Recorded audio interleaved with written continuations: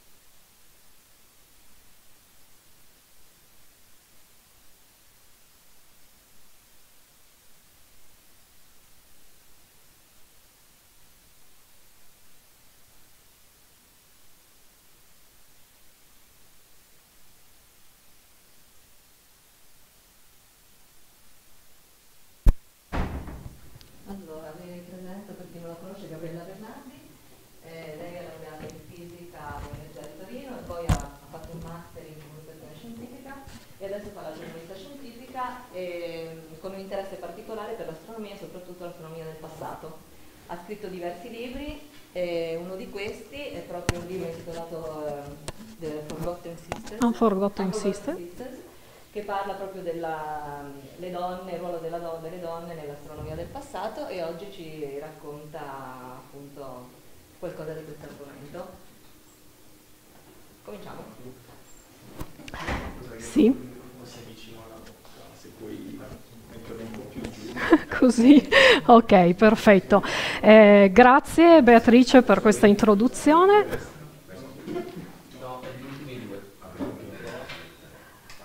Perfetto. Allora, io vi ringrazio soprattutto per l'introduzione, ma per questo bell'invito, perché mi fa molto piacere trovarmi qui oggi in questa istituzione, anche perché l'argomento di cui vi dovrò parlare oggi in un certo qual senso ha avuto origine proprio all'interno di questo istituto e fisicamente proprio qui sotto nell'archivio delle lastre fotografiche dove anni fa, più di una decina di anni fa, ho avuto modo di lavorare e mi sono passate tra le mani eh, più di un migliaio di lastre, di, di campi ovviamente stellari, ma eh, come spesso sa eh, chi lavora a contatto con degli archivi, soprattutto storici, eh, alle volte si fanno delle belle scoperte o ci sono delle cose che incuriosiscono. Beh, ovviamente a me è incuriosito il fatto di trovare una piccola bustina che conteneva tre eh, lastrine che eh, raffiguravano dei ritratti femminili. Su questa busta c'era scritto Donne astronome del passato, al che mi ha incuriosito la cosa, anche perché eh, questi ritratti riguardavano la famosissima Carolina Herschel, che ovviamente se uno pensa a un'astronoma del passato pensa a lei e poi penso basta, e poi altre due figure, eh, i pazzi di Alessandria e poi una certa Madame Lepotte, che io non sapevo chi fosse e da qui ovviamente è partita questa ricerca, non certamente facile, eh, ovviamente fatta tra i ritagli di tempo, per capire se prima di lei ce ne fossero state ovviamente tante, poche o quasi nessuna. Eh, come dicevo è una, stata una ricerca ovviamente non semplice perché più uno va a scavare indietro nel passato, si hanno ovviamente pochi documenti, ma soprattutto quelli che riguardano le donne sono veramente esigui e adesso vedremo anche il perché. Poche scienziate eh, nella storia sono ricordate. Per capirlo meglio ci aiutiamo un po' con questa tabella, con questi numeri. Come potete vedere qui è uno spettro delle donne scienziate che hanno operato nel passato e quindi vanno dalla medicina alla botanica, passando anche per l'astronomia. Quindi c'è tutta la parte scientifica. Nell'antichità sono dei numeri bassi, se ne ricordano una ventina. Si dimezzano completamente nel Medioevo, tendono a scomparire per i secoli successivi e poi riprendono nel 600 fino ad arrivare a un picco di mille unità nel 1800 e ehm, ovviamente il nome più illustre di, eh, di, tutte queste filosofe è quello di Alessandria, eh, di Ipazia di Alessandria che vedremo a breve, ma eh, mi piace anche fare un raffronto con numeri attuali. Oggi nel campo dell'astronomia le astronome professioniste, secondo i dati dello Yahoo dell'agosto del 2015, sono stimate a essere intorno alle 2000 unità. Ammesso e concesso che tutte le astronome professioniste siano ovviamente iscritte appunto a questa eh, istituzione. Abbiamo dei numeri esigui, ovviamente perché sono così esigui? Questo lo si spiega facilmente con il fatto che se uno non ha un accesso a un'istruzione eh, basilare e anche superiore può fare ben poco nel campo dell'astronomia, eh, dove eh, si necessitano ovviamente delle conoscenze di tipo matematico o di fisica. In più, ovviamente, se si pensa anche alla, stru alla, strumentazione che era appannaggio degli astronomi e quindi costruita o acquisita coi propri mezzi, eh, bisognava anche avere a disposizione eh, i mezzi per poter appunto accedere a laboratori eh, abbastanza avanzati. Quindi dov'è alla fine che emergono queste donne del passato? Emergono in uno strato sociale eh, altolocato oppure in contesti familiari che all'interno erano appoggiate da eh, mariti, eh, fratelli oppure da padri che avevano ehm, diciamo, la volontà di, eh, di far sì che le proprie figlie, mogli, eh, compagne eh, potessero studiare in questo campo e poi ovviamente con fini ovvio, abbastanza utilitaristici e, e, dove spesso il lavoro che poi veniva eh, compiuto confluiva in, e veniva inglobato appunto nelle ricerche appunto eh, di questi familiari. Quindi è anche difficile poi effettivamente scindere eh, il contributo appunto eh, di, di queste astronome. Ma veniamo appunto all'antichità facendo un balzo a ritroso nel tempo e le prime appunto astronome furono sostanzialmente delle astronome osservative e loro eh, operavano all'interno eh, di, eh, di, sfere decisamente elevate, o erano figlie direttamente di sovrani o erano esse stesse appunto anche delle sacerdotesse.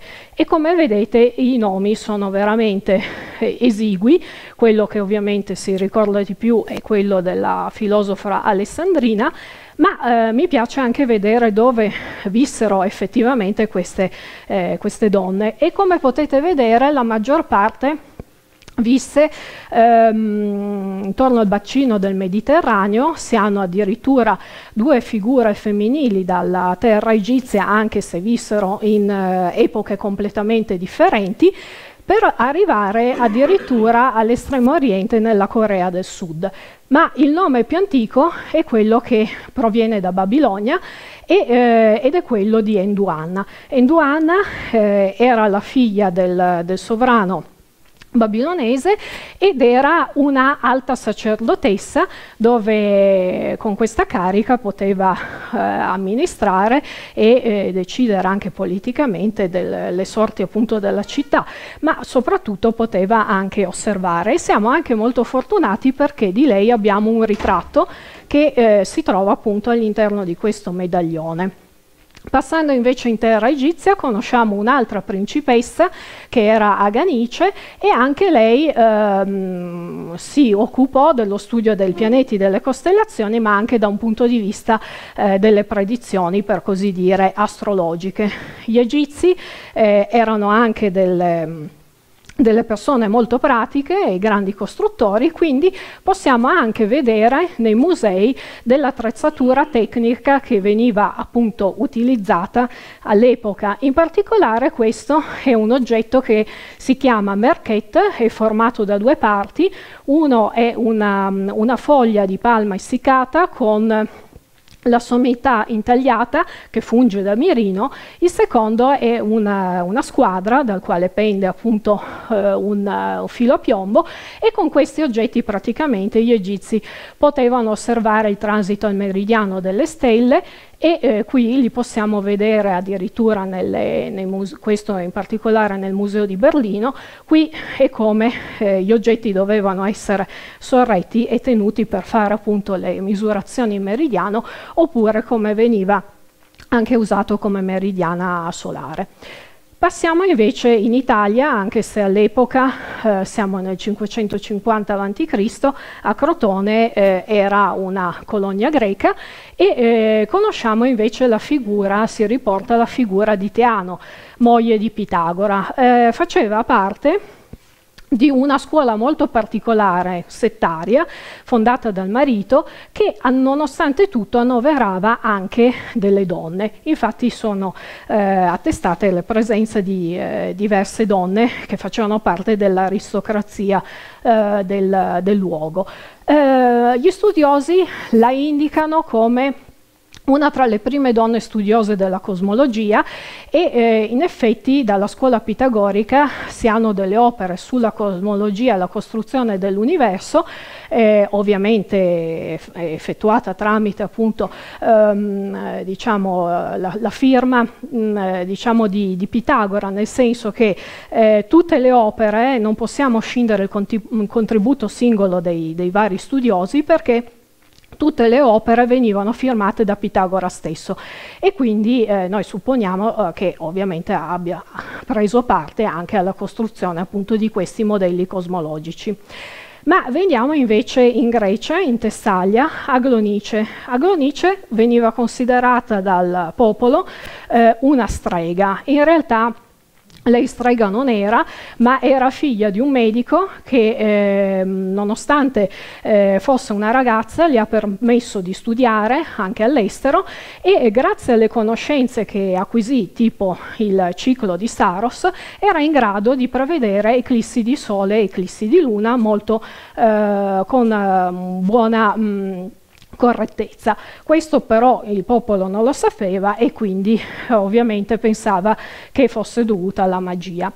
Ma vediamo appunto la figura di Pazia d'Alessandria, ovviamente eh, la filosofa del passato dell'antichità più conosciuta, eh, si hanno appunto diverse indicazioni molto interessanti ma, eh, e sono sostanzialmente dovute ai ehm, filosofi e gli storici contemporanei.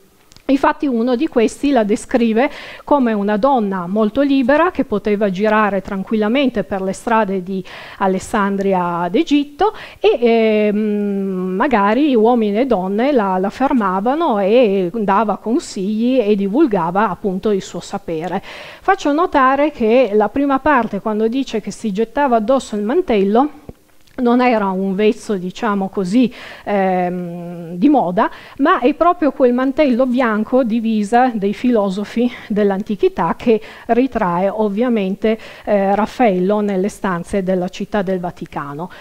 Eh, lei ehm, sappiamo che morì nel marzo del 415 d.C. in modo molto tragico ed era figlia del matematico Teone che era il direttore della biblioteca di Alessandria.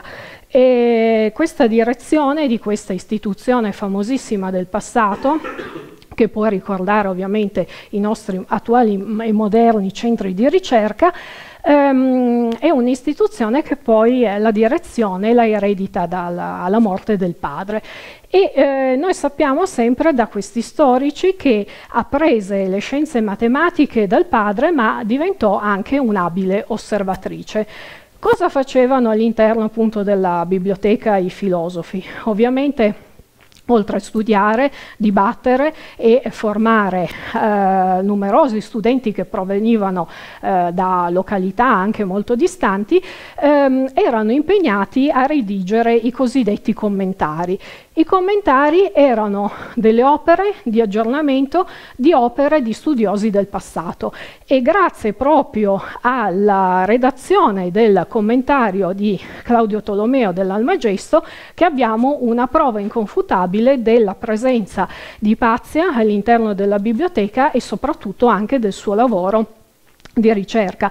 Infatti il padre nella prefazione dice che questo commentario era stato eh, ovviamente redatto da lui, però controllato dalla filosofa Ipazia, sua figlia. E I commentari eh, seguono la vita di Pazia e infatti sappiamo che eh, lei commentò eh, l'opera di Diofanto, il padre dell'algebra, e anche le coniche di Apollonio, testi di geometria, ma soprattutto si occupò di fare un'opera, redigere un'opera completamente nuova che chiamò Canone astronomico e doveva essere una raccolta di tavole appunto sui corpi celesti. Intanto vediamo che aspetto avevano. Come vedete sono rotoli di papiro che hanno appunto questo aspetto quando vengono srotolati e nei musei appunto si incontrano. Ma soprattutto eh, noi sappiamo da un altro storico che all'interno di questo canone astronomico lei aveva scoperto appunto qualcosa di nuovo che riguardava il moto degli astri e lo andava divulgando praticamente agli uomini e alle donne della sua epoca. Purtroppo al giorno d'oggi ci rimane il titolo e nulla più e quindi eh, tutto questo è andato perso. Sappiamo anche che fu anche un'inventrice, quindi non si occupò solo di testi eh, teorici, ma per quanto riguarda l'astronomia perfezionò un cosiddetto astrolabio piatto. Qui eh, ovviamente è mostrato un astrolabio di epoche successive, bellissimo in ottone, ma per capire i tipi di astrolabi eh, che si potevano incontrare all'epoca di Pazia ehm, bisogna risalire appunto agli scavi archeologici. Questo è uno che è stato ritrovato vicino alla, a Luxor e eh, ovviamente mediante questo mh, mm, praticamente si facevano eh, misura di posizione delle stelle dei pianeti e il suo era particolare perché era costituito addirittura da, da due piastre rotanti e eh, ovviamente c'era un perneo che appunto teneva appunto questi due dischi. Questo è un altro utilizzo appunto di quello ritrovato. Cambiamo completamente epoca e anche eh, ehm, e andiamo in Asia. Andiamo nella Corea del Sud perché conosciamo una giovane donna, una principessa, eh, Sonduk, che ehm, alla sua corte, alla corte del padre, aveva come tutore il eh, diplomatico cinese. Eh, questo diplomatico cinese aveva il compito di formare questa giovane principessa però a quanto pare, anche se era molto versata nelle scienze, sembra che eh, questo diplomatico non fosse molto d'accordo che studiasse soprattutto in campo astronomico. Infatti nei suoi scritti si lamenta che eh, parte della conoscenza le, le, deve essere proibita, ma eh, sappiamo che... Ehm, appunto eh, questo diplomatico le, le, vuole impedire lo studio dell'astronomia nonostante conosca anche lei il ciclo di Saros e preveda delle ehm, eclissi che avverranno poi ehm, nel suo paese e le consiglia di occuparsi di qualcosa decisamente più femminile come i bacchi da seta. Eh, non sappiamo se si è occupata o meno dei bacchi da seta, ma sappiamo che quando diventa lei regina, praticamente come prima opera fa costruire questa torre astronomica. Una torre completamente dedicata all'osservazione del, del cielo e eh, al giorno d'oggi nell'antica capitale praticamente si può vedere eh, in piedi solo questa opera di tutti i magnifici palazzi che eh, c'erano attorno e quindi ehm, è importante eh, diciamo, perché ha eh, diciamo, portato avanti l'astronomia appunto nel suo paese. La curiosità è che è una torre panciuta, quando la si vede c'è questa finestrella abbastanza in alto, si sa che alla sera praticamente venivano calati dentro quattro astronomi, eh, veniva tolta la scaletta, stavano tutta la notte a osservare sdraiati sul, sul pavimento secondo gli assi cardinali e quindi è una torre molto particolare anche soprattutto per gli astronomi che hanno dovuto utilizzarla. Facciamo un balzo enorme, ritorniamo in Europa, ma siamo già nell'epoca medievale. Il De Garda di Bing magari è un nome che conoscete perché anche recentemente è anche stata eh, fatta santa ed è una monaca particolarissima. Praticamente lei ha spaziato in tutti gli scibili, dalla medicina alla musica, diventando anche la prima compositrice di musica eh, eh, sacra, ovviamente, eh, lavorando per tutta la vita nei monasteri. Nonostante questa sua clausura, lei eh, era anche molto attiva politicamente perché scriveva varie lettere agli imperatori e ai vari papi che si succedevano. Quindi è una donna molto potente, per così dire, ha la libertà di studiare e anche la libertà, diciamo così, di elaborare delle teorie e dei eh, sistemi. In particolare per quello che ci riguarda ha anche elaborato un suo particolare sistema cosmologico che però ovviamente si eh, rifaceva alla corrente appunto dei pitagorici. Ma non è neanche tanto eh, questa l'importanza della, eh, della sua eh, diciamo, opera. Il fatto è che essendo una donna e sapeva benissimo che non era presa diciamo, molto sul serio nel, nell'ambiente ecclesiastico o delle gerarchie, ehm, ide, eh, ha l'idea eh, di inserire un trucchetto per farsi diciamo, ascoltare e prendere sul serio. Come potete vedere, intanto questa è una bellissima miniatura fatta da lei, tutte le sue opere erano corredate da disegni stupendi e eh, soprattutto notate il colore che all'epoca eh, ovviamente era anche un segno, ehm, erano ovviamente molto cari da ricercare, quindi tanto per dire il monastero era abbastanza ricco. Ma in particolare lei ha questo stratagemma, dice che tutte le sue eh, teorie ehm, eh, sono dovute a delle visioni dall'alto. E quindi essendo appunto eh, dettate eh, da, dall'alto eh, in questo modo riesce a farsi prendere sul serio. Infatti la vediamo sempre raffigurata lei stessa si, si raffigura qui in basso a sinistra seduta al suo scrittoio nell'atto di osservare queste, queste visioni e eh, in questo modo appunto viene presa sul serio e sarà, eh, saranno gli unici scritti fatti, appunto effettuati da una donna a essere eletti per esempio al Concilio di Trento. Passiamo avanti. Oh e eh, andiamo invece nella zona scandinava. Ovviamente Tycho Brahe lo, lo si conosce perché è stato un grande sistema poco si sa che avesse una sorella minore di nome Sophie. Questa sorella minore è stata per eh, molti anni della, della, vita appunto a fianco a Tycho Brahe eh, come sua assistente. E eh, questa sorella minore intanto sin da piccola aveva dimostrato di avere delle grandi capacità intellettuali.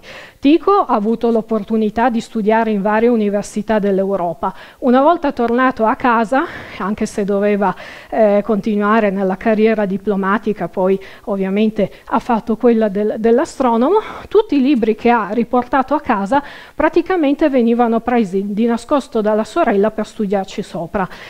Tico se ne accorge, nonostante il suo carattere terribile, che sappiamo non era molto facile lavorare con lui, la prende sotto la, la sua ala protettrice perché si accorge che aveva notevoli capacità.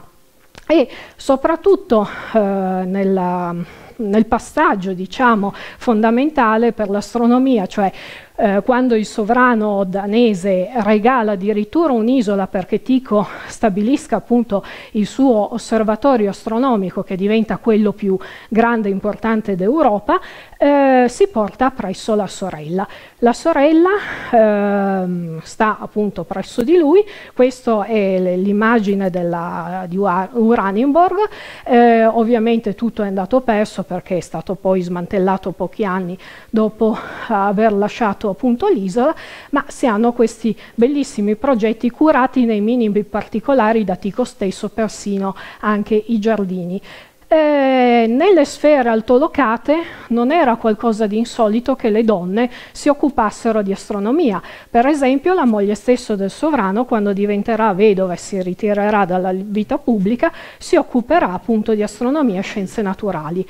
Un'altra bellissima immagine dove venivano posizionati questi giganteschi quadranti su questi terrazzini e anche sulla sommità del, del castello. Qui ovviamente compiono eh, osservazioni notturne per una ventina di anni e gli astrometristi che sono qui presenti sanno bene che eh, diventarono appunto le misure più precise appunto dell'epoca e furono un grande regalo poi per successivamente eh, Keplero. Ma eh, Sophie ha anche una sua vita privata, si sposa, le nasce un figlio, poi diventa vedova e mm, invece di eh, diciamo, ritirarsi continua a studiare anche alchimia e medicina.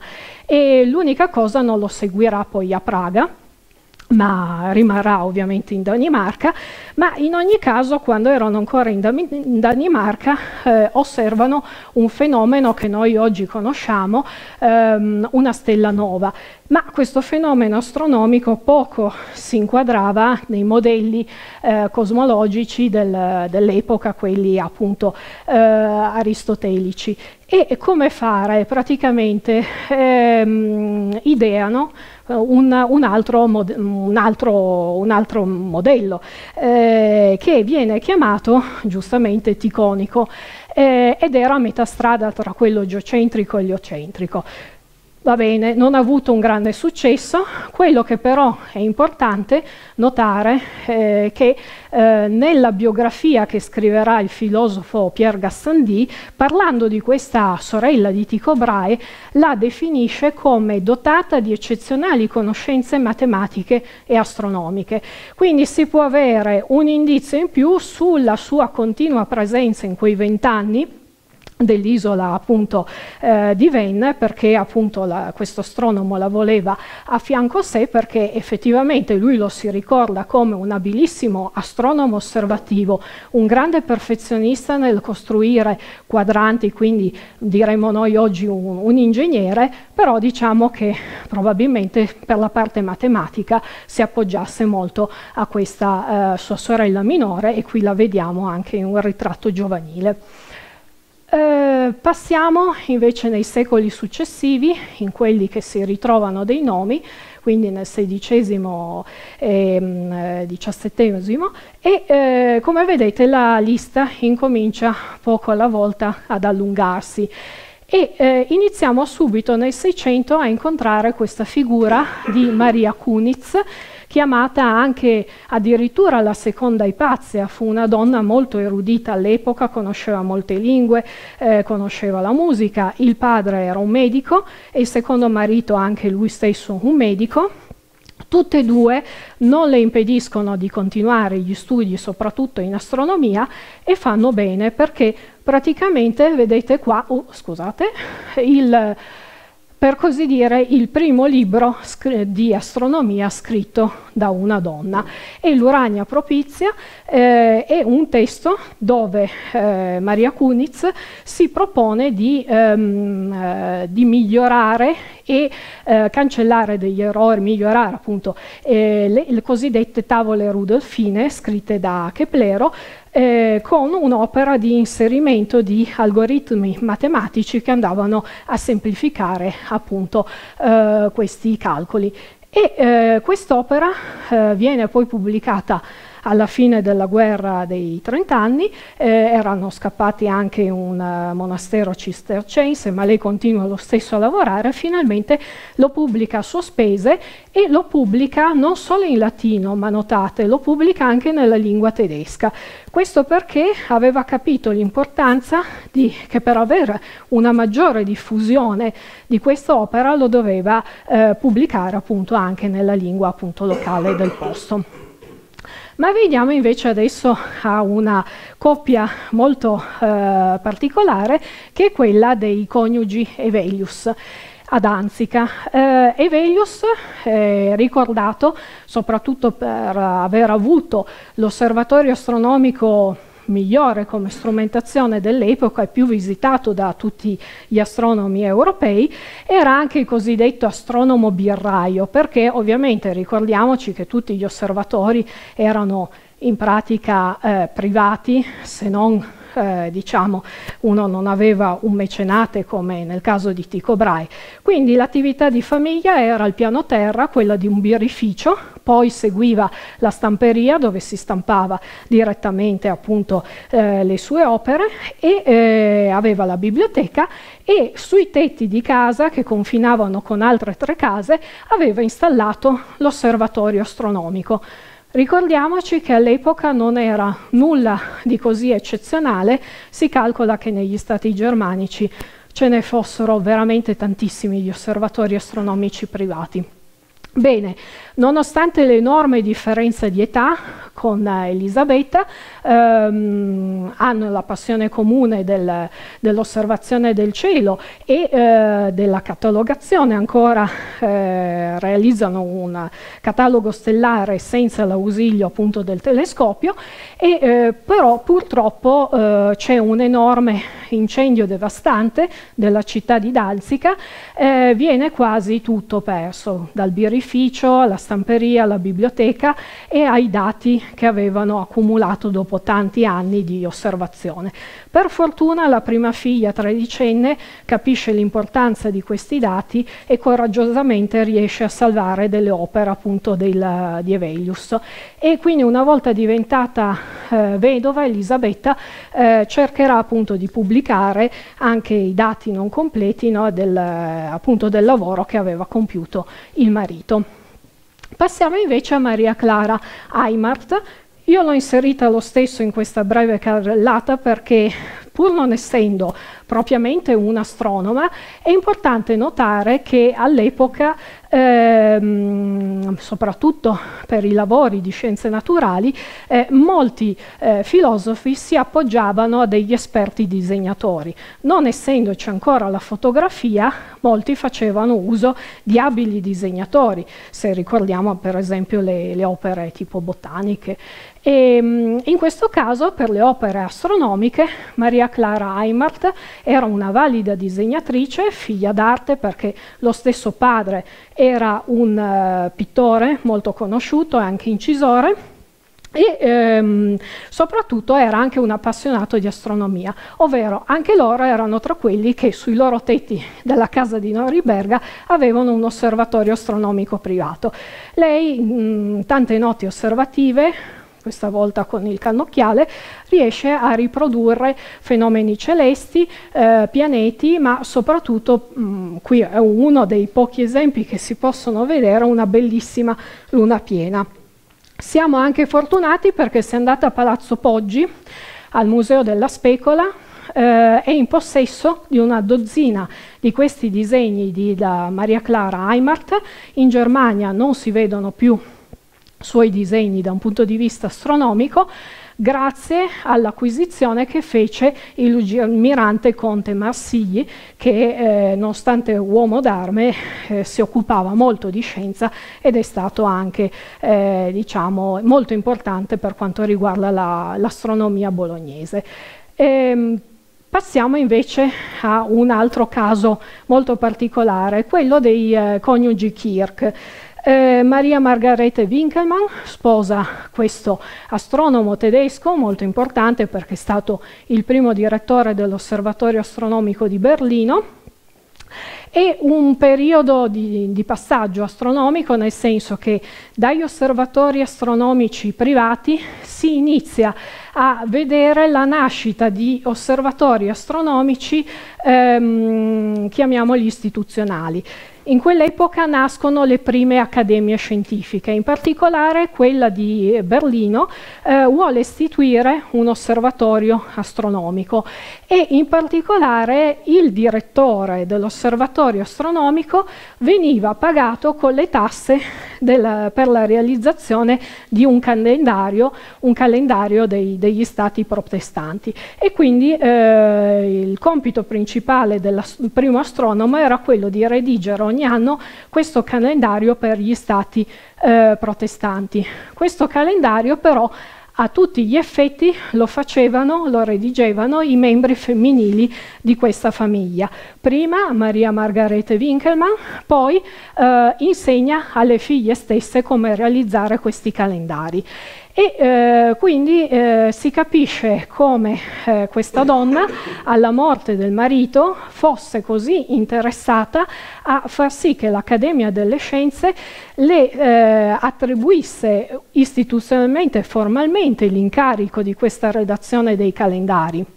Ma anche se il um, presidente dell'Accademia, che era Leibniz, era suo amico, non riesce eh, a convincere gli altri membri per non creare, diciamo, una, ehm, eh, per non creare appunto eh, questo, questa rottura, questo passaggio che appunto una donna potesse fare ufficialmente l'astronoma. Eh, lei comunque nel 702, alternandosi col marito, scopre anche una cometa, anche se questa cometa inizialmente viene attribuita al nome di Kirk. L'impresa di famiglia continua anche coi figli, eh, lei istruisce sia i figli che eh, l'unico figlio, Christfield, che diventerà poi lui stesso direttore dell'osservatorio astronomico, lei poi diventerà assistente del figlio, insieme appunto alle sue due figlie. E quindi eh, diciamo finirà eh, pur addirittura allontanata dall'osservatorio astronomico perché implicitamente quando venivano degli astronomi in visita lei doveva nascondersi. Ovviamente lei questo non, non lo sopporta e non lo fa quindi verrà cacciata eh, tristemente appunto da questo osservatorio eh, in ogni caso veniamo in Italia e qui conosciamo effettivamente quelle che vengono accreditate come le prime due astronome italiane, che erano niente meno che le sorelle di Eustachio Manfredi, eh, noto astronomo bolognese, e però mi piace introdurle con questi stralci eh, di epistole che si comunicavano ai vari astronomi europei. Era prassi che appunto diversi astronomi compissero studi in Europa da altri appunto colleghi. E per esempio eh, l'astronomo svedese Celsius scrive a Kirk, che sarebbe il figlio appunto di eh, Elisabetta, e eh, questo astronomo gli dice, ah comincio a credere che avere sorelle colte, eh, colte sia un destino di tutti gli astronomi, che ho avuto l'onore di conoscere anch'io una sorella, però non è gran colta e quindi per mantenere eh, l'armonia eh, lui si impone appunto di farne diventare un astronomo. Purtroppo non ho avuto eh, documenti che appunto la sorella di Celsius divenne poi effettivamente un'astronoma, ma come vedete eh, quando arriva a Bologna e il suo nuovo maestro Eustachio Manfredi lo trova intento a redigere le effemeridi per la città di Bologna assieme coadiuvato dalle due sorelle Teresa e Maddalena e si suppone che a quest'opera appunto avesse anche partecipato una terza chiamata Agnese. Andiamo in terra francese, nell'epoca dei salon, non solo letterari ma anche scientifici, e eh, questa marchesa du Châtelet è fondamentale, diciamo, è una figura molto particolare, ci vorrebbe appunto un seminario per discutere la sua vita privata ma soprattutto professionale.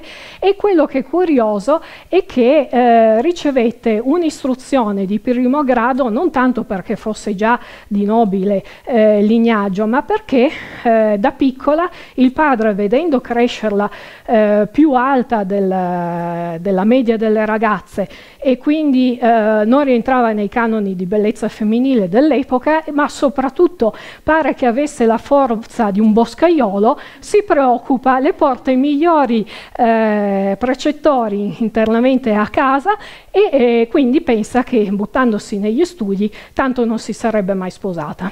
In realtà si sposò, ebbe numerosi amanti, come era anche prassi dell'epoca, ma soprattutto da un punto di vista astronomico la si ricorda perché ha iniziato e anche terminato la traduzione, che poi non era una mera traduzione, ma un commento e una semplificazione anche per la comprensione dei calcoli dell'opera dei principi di Newton.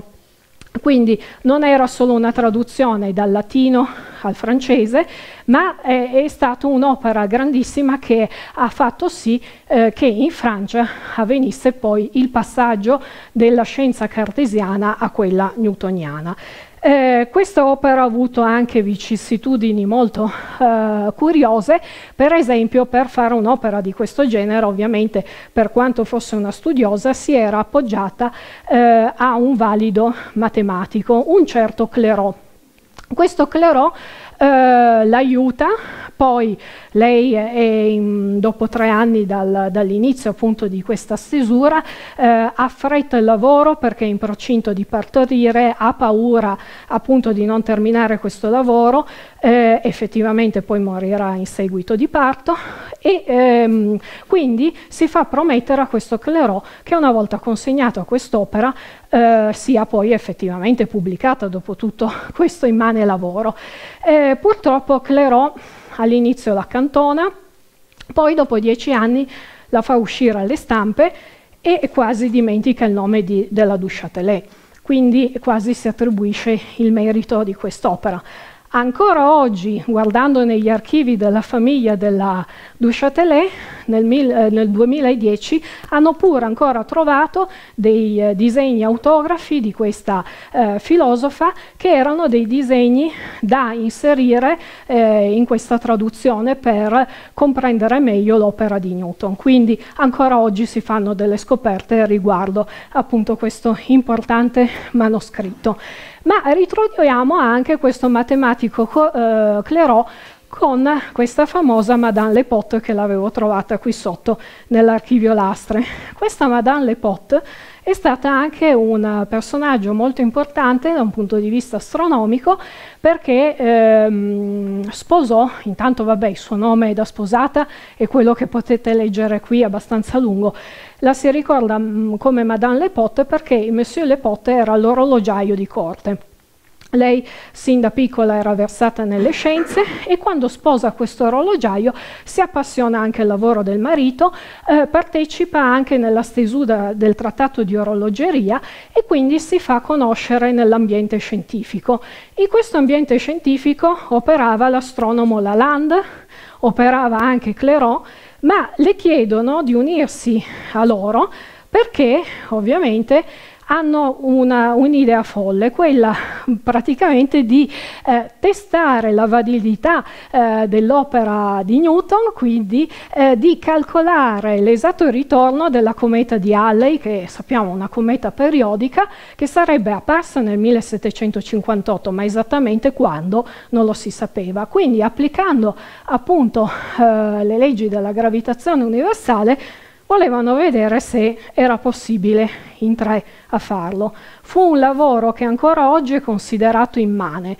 Non c'erano computer, non c'erano calcolatori tascabili, eh, c'erano però le cosiddette calcolatrici astronomiche. Erano delle persone molto abili a fare lunghi calcoli, ma anche ragionamenti, non erano dei semplici calcoli, e quindi Madame Lepotte si distingue per essere una valida calcolatrice astronomica eh, non mangiano, non dormono, riescono comunque alla fine a depositare, oh scusate, questo, voilà. Praticamente riescono a consegnare all'Accademia delle Scienze di Parigi i risultati del loro immane lavoro e un mese dopo eh, compare la cometa di Halley secondo appunto le previsioni che avevano fatto. Quindi un enorme successo, un enorme successo accreditato anche a Madame Lepotte, peccato che dopo Clairaut invece si attribuisca tutti i meriti. Quindi aveva questo vizietto, ma non solo con lei, ho trovato con numerose altre astronome che non vi citerò. Bene, eh, detto questo però la sua fama ovviamente non è che viene inficiata, anzi eh, la Land e l'Accademia delle Scienze di Parigi le commissiona eh, numerose opere, tipo soprattutto all'epoca andavano eh, le redazioni delle effemeridi che erano utili per i naviganti, quindi la navigazione. Bene, ritorniamo in Italia.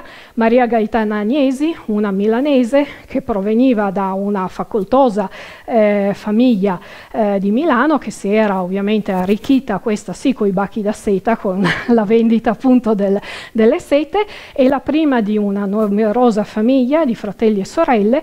Il padre non bada spese ai migliori precettori e lei diventa un fenomeno da salotto. Infatti il padre amava invitare ospiti compiti per esibire diciamo, la figlia, declamava in latino o in qualsiasi altra lingua che potesse conoscere e per quanto ci riguarda scrive anche un trattato di gravitazione universale e uno sulla meccanica celeste.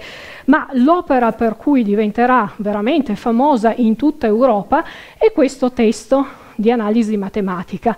Lei inizia a scrivere questo testo perché vuole far sì che uno dei fratelli minori si avvicini allo studio della matematica, quindi per spiegarlo bene scrive addirittura questo testo. E come notate non è scritto in latino, anche qui è scritto in italiano, poteva benissimo scriverlo in latino. Lo scrive in italiano perché avesse una maggiore diffusione e comprensione eh, tra, mm, tra, tutti e eh, viene addirittura omaggiata da un bellissimo anello di brillanti dall'imperatrice Maria Teresa d'Austria ma la cosa curiosa è che all'interno di questo testo, tradotto in varie parti del mondo, al giorno d'oggi si ricorda purtroppo Maria Gaetana Agnesi con l'appellativo di strega. Questo perché eh, questa, lei analizza a un certo punto questa curva che è una versiera, la chiama versiera in italiano.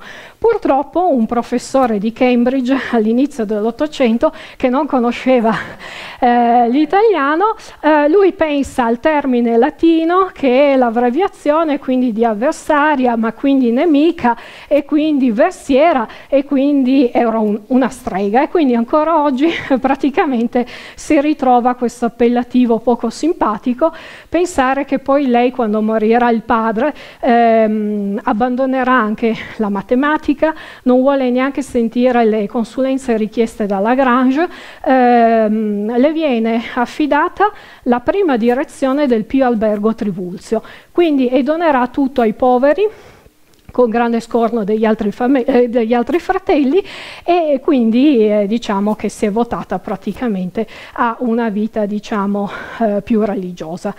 Eh, passando invece per la Cina incontriamo la figura di Wang Zi. Eh, rimane orfana di madre eh, in, eh, subito, ma il padre, la nonna e il nonno praticamente allevano questa ragazza dandole una notevole istruzione, diremmo oggi sia da un punto di vista umanistico che scientifico e infatti eh, a 24 anni pubblica dei libri, dei trattati di matematica con calcoli semplificati, ma soprattutto la si ricorda per aver realizzato dei cosiddetti moderni exhibit per spiegare dei fenomeni appunto celesti e avendo viaggiato parecchio con, eh, con il padre è diventata anche una femminista ante litteram. Bene, arriviamo alla figura di Carolina Herschel eh, ovviamente citata all'inizio, non potevo non ricordarla, ci vorrebbe un seminario intero per la straordinaria vita eh, di questa donna che raggiunse quasi eh, i 98, quindi diventata quasi centenaria, nonostante fosse partita con vari problemi all'inizio, tifo, eh, vaiolo, quindi ha avuto una vita eh, straordinaria e eh, soprattutto perché era in un contesto familiare molto particolare, quello dei fratelli Ash, che sappiamo soprattutto William divenne famoso per aver scoperto il pianeta Urano. Insieme a lui, nella fase appunto inglese, eh, lo coadiuva eh, in tutto per tutto nella realizzazione di questi specchi sempre più grandi, quindi eh, in telescopi, diciamo, quelli più potenti dell'epoca, e il merito di questa donna è stata che eh, ha sempre tenuto un, un, diario, nel senso giorno per giorno che cosa faceva, non solo da un punto di vista diciamo privato, ma soprattutto professionale e quindi per gli storici sono un valido aiuto per ricostruire questa vita molto particolare. Qui si vede che appunto non è che si occupava solo di astronomia, ma anche eh, addirittura lo nutriva e lo imboccava per appunto queste fasi di eh, lucidatura no, del, degli specchi. Quindi lei in questi diari eh, un po' si lamenta che non ha abbastanza tempo libero, tra virgolette astronomico, perché deve stare dietro a eh, prendere i dati appunto che il fratello le dettava e quindi non ha abbastanza tempo per osservare lei con il telescopio che gli aveva fornito William. E alla fine del 1738 ha solamente, come dice lei, scoperto tra 14 tra nebulose e galassie. Per avere un'idea, questa era la calligrafia appunto di, di, Carolina. Piccola curiosità, quando venivano commissionati questi telescopi e poi li dovevano mh, spedire a, mh, ai clienti, eh, il cosiddetto libretto di istruzioni veniva scritto da Carolina e quindi si capisce che forse aveva la calligrafia migliore dei, degli altri due fratelli. Questi sono due dei 14 oggetti scoperti da Carolina. Purtroppo non diventerà famosa per aver scoperto questi oggetti, ma perché la si accredita come la prima astronoma che nel 786 scopre in modo indipendente una cometa. Lei addirittura poi ne scoprirà altre sette ma questo è un fatto talmente straordinario che eh, il sovrano Giorgio III l'anno seguente le darà appunto una rendita annuale eh, con la quale appunto può mantenersi in modo indipendente. E qui dai suoi diari si ha quella famosa notte del primo agosto del 1786 dove segue appunto questo oggetto che, eh, che appunto si rileverà essere appunto una cometa. Bene, eh, pubblicherà poi anche un catalogo notevole di 2500 nebulose, riceverà i primi riconoscimenti finora attribuiti solo agli uomini, eh, quelli della Royal Society, e eh, nonostante appunto la sua età avanzata, come ricordano i nipoti, era ancora una persona particolarmente molto attiva. E, ehm, cosa dire? Ovviamente come riconoscimento c'è anche il solito cratere eh, lunare, ma la famiglia degli Herschel diciamo che fa anche un po' da cesura tra un mondo astronomico che ormai sta andando a chiudersi, cioè di astronomia fatta a livello familiare, con costruzione anche interna di, eh, di telescopi, senza dei progetti di ricerca ben eh, definiti e qualificati. Andiamo verso un'epoca moderna, quella delle istituzioni eh, osservative, soprattutto di progetti molto grandi come quello dei cataloghi stellari. E dato che periodo appunto della Lego che omaggia diverse figure femminili per ricordarle, la Lego non poteva anche non dimenticare soprattutto il gruppo del professor Pickering di Harvard per la eh, risoluzione appunto di tutte le lastre fotografiche e quindi soprattutto delle donne che fecero delle notevoli scoperte ma qui sarebbe un altro seminario, altri discorsi. Alla fine di questa breve chiacchierata eh, potete anche domandarvi chi fu nelle diciamo, riunioni preliminari a indicare eh, chi mh, mm, doveva essere messo diciamo nella parte dell'antichità e che tuttora oggi appunto vi dà il benvenuto appena entrando al planetario. Um, questo e tante altre figure sono state descritte in questo libro uh, che è uscito un paio di anni fa. Siete tanto fortunati perché lo potete scaricare gratis e eh, sicuramente avrò perso qualcuna per strada, quindi eh, dato che sto andando per una, un aggiornamento successivo, se mi date delle indicazioni, suggerimenti sono sempre ben graditi. Vi ringrazio tantissimo per l'attenzione.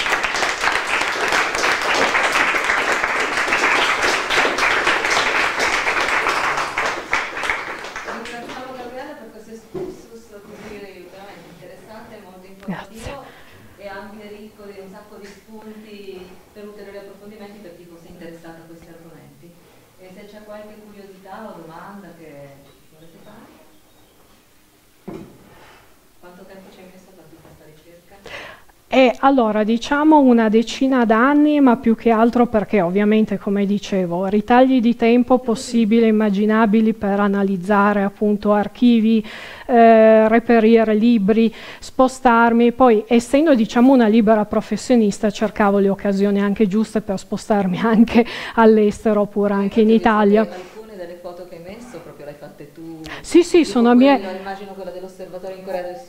Eh, no, quella lì è ancora vecchia, non l'ho aggiornata, ne ho, ne ho altre bellissime fatte recentemente, ma non ho avuto tempo di inserirla. E quindi tutta questa fase di ricerca, di validazione, perché è anche importante vedere che non ci siano eh, iterazioni di dati sballati, diciamo di così, e poi ovviamente anche la ricerca eh, del mezzo per divulgare appunto queste informazioni. L'ultimo è quello in lingua inglese, quindi a distribuzione mondiale. Ecco. Ma la Eschel perché è un, diciamo, una figura abbastanza particolare, se uno lo chiede agli astrofili sanno subito chi era Carolina Eschel, poi perché l'ho ritrovata nell'archivio Lastre sotto, che quindi mi incuriosiva, e poi eh, recentemente ho anche pubblicato un articolo sulle prime donne astronome che eh, hanno lavorato ufficialmente qui all'Osservatorio di Torino, quindi sono anche riuscita a risalire a chi dovevano essere appartenute quelle lastrine che ho trovato sotto delle astronome del passato. E quindi questo, se vorrete, un'altra volta perché è stata una ricerca anche molto interessante sul direttore che ha voluto le prime donne astronome presenti qui in osservatorio e che vicissitudini hanno avuto anche. E, mh, comunque dicevo, è una figura molto particolare perché intanto c'è molta documentazione, si scrive molto, ma perché anche lei ha lasciato scritto parecchio, quindi ha una vita straordinaria perché da una previsione di vita media diciamo abbastanza bassa, ha avuto il vaiolo che l'ha lasciata mezza eh, diciamo segnata sul lato sinistro del volto, anche l'occhio sinistro aveva dei problemi, il tifo che le ha impedito una crescita è rimasta al tipo 1,40 m neanche, quindi era molto piccolina di statura. E inizialmente si pensava che dovesse fare la domestica, poi non è andata così, studia musica con eh, i suoi fratelli che erano dei musicisti professionisti, le piace la professione, diventa anche un abile soprano, però poi eh, il fratello con questa scoperta di Urano cambia la vita sua, quella degli altri fratelli e soprattutto la, la, sua e all'inizio non era per niente contenta perché avevano intanto uno stipendio dimezzato a fare gli astronomi, era meglio fare musicisti e quindi già questo no, non è... e quindi già questo si trova mal partito. Poi inizia a appassionarsi perché in realtà diciamo, è sempre stata tutta la vita grata a questo fratello Williams che appunto ha magari lui visto utilitaristicamente una, eh, un aiuto in questa sorella, ma l'ha voluta togliere appunto anche da una situazione familiare che non era molto diciamo allegra. E quindi una vita straordinaria però tutti che cos'è che fanno? Si concentrano sulle figure da Carolina Eschel in avanti e diciamo diventa anche più facile. Io sempre per le cose difficili eh, sono andata a ritroso nel tempo, non è aff stato affatto semplice perché, ripeto, dire anche chi cosa ha fatto, molto è stato inglobato, molto è andato perso, molti pregiudizi e molto, ecco, diciamo, eh, le informazioni sono queste e, e quindi è stata anche una ricerca particolare, ma vedo che a livello mondiale è molto apprezzata. Parecchio, sì, sono molto contenta di questo. No, sta avendo veramente un, uh, molto interesse. Sì. Eh, all'inizio eh, sì. sono stati dei numeri, ah, sì. numeri di quante astronome o comunque scienziati sì. in generale hanno appartenuto a quell'età eh, sono attaccate dei nomi. Quello che mi chiedo è, c'è una stima di quanto sia sottobosco che non ha un nome o un cognome. Cioè, ci sono degli scritti che dicono che in generale in quell'epoca c'erano delle donne di cui non conosciamo il nome allora, degli scritti che dicono questo, no, non ce ne sono, però se penso solo alla correlazione eh, che l'astronomia fino diciamo al 600, 700, fino quasi agli Eschel, era quasi un affare di famiglia, dove praticamente il marito, la moglie, i figli stessi, come nel caso della coppia Winkelmann-Kirk, erano tutti adoperati appunto a eh, fare gli astronomi. Quindi probabilmente con le statistiche che anche in tutti gli osservatori privati solo negli stati germanici, quasi tutti sul tetto di casa erano in possesso di un telescopio e osservavano. Probabilmente numero, i numeri sarebbero anche più alti, ecco, non, sicuramente. Peccato che, ripeto, il grosso del problema è che poi eh, in questo caso queste donne sono state fortunate perché magari hanno avuto delle vicissitudini particolari dove si è isolato il loro nome.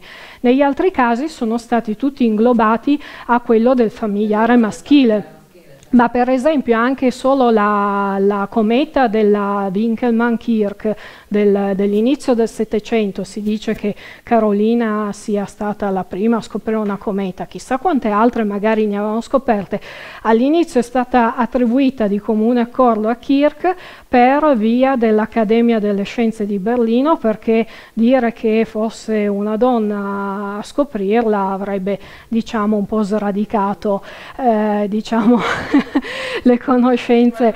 L'unica che è stata la più furba di tutti è stata quella sacerdotessa. Ah, monaca Hildegarda. Eh, Dicendo che aveva le visioni. aveva le visioni Era tutto merito suo. Ma infatti ha avuto un grandissimo espediente, a parte che effettivamente eh, soffriva di crisi epiletiche, quindi probabilmente magari qualcosa vedeva, chi lo sa.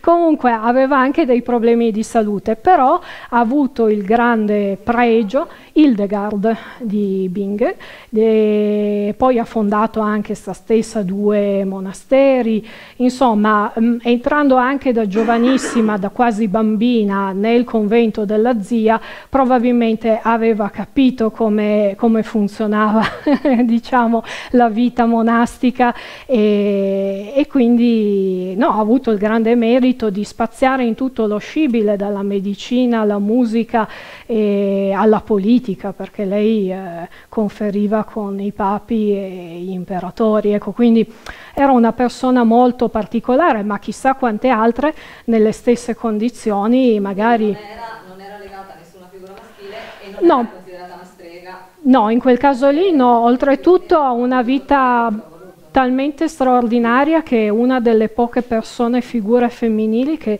eh, è mh, documentato ha fatto anche un esorcismo, cosa che è appannaggio diciamo dei sacerdoti.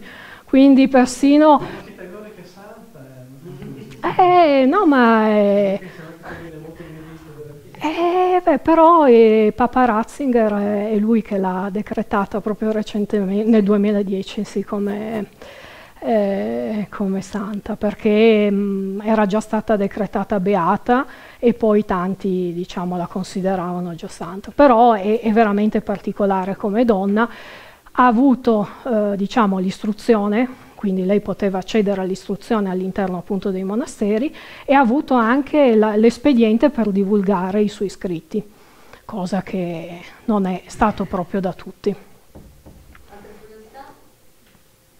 No? Allora ti ringraziamo di nuovo. Grazie a voi.